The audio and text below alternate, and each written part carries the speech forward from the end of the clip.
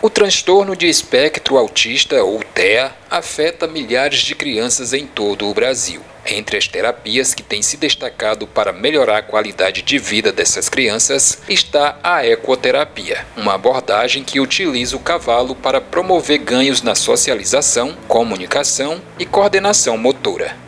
Para o autismo, essa prática tem sido indicada por muitos especialistas para promover o aprendizado e auxiliar em áreas de dificuldade.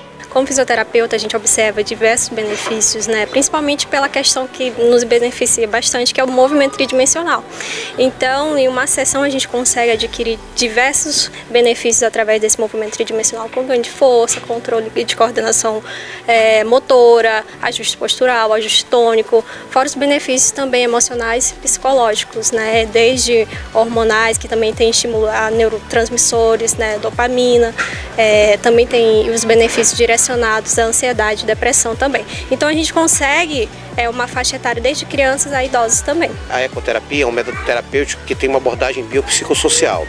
Nós trabalhamos não só a questão da saúde dos nossos pacientes, da reabilitação dos nossos praticantes, que em ecoterapia a gente não chama de paciente, a gente diz que nós temos praticantes, mas também o bem-estar da família. Né? é, a sensação de ver os seus filhos evoluindo, de se ver seus filhos se tornando capazes, e eles são capazes, né?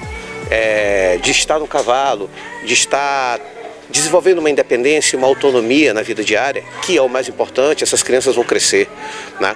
Nós temos uma responsabilidade muito grande enquanto sociedade em preparar essas crianças da melhor maneira possível para assumir a humanidade quando nós não estivermos mais aqui. Eu acho que vai ser uma terapia que vai somar com as que ela já está fazendo, que vai ter mais uma, uma forma dela se expressar, entendeu?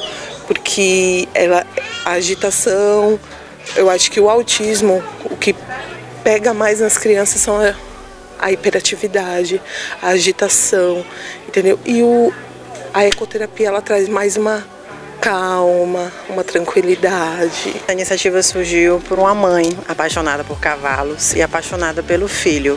Eu tenho um filho autista de 5 anos e eu vi é, a, a, evolução do meu filho junto com o cavalo, que a gente tem, a gente vive nesse meio, né? Então eu pensei, gente, por que, que eu não levo, não levo isso para as outras crianças e para as outras mães, para elas verem a evolução que o cavalo faz na vida das crianças? É uma coisa assim, sem explicação. Eu chego me emociono porque o cavalo mudou a minha vida e mudou a vida do meu filho. Essa escolinha vai ser voltada para que tipo de público? Todos, aqui a gente atende todos, desde criança, adulto, idoso, jovem. É, é voltado para crianças com necessidades especiais, com algum tipo de deficiência, mas também a gente atende as pessoas que não são atípicas, né, com ansiedade ou com algum tipo de depressão. Para de repente aquela mãe que se interessou, como ela deve fazer para inserir seu filho aqui? A gente tem um nosso Instagram, né? É só entrar lá no Instagram e falar diretamente comigo. O nome do Instagram é Ecoterapia Marate.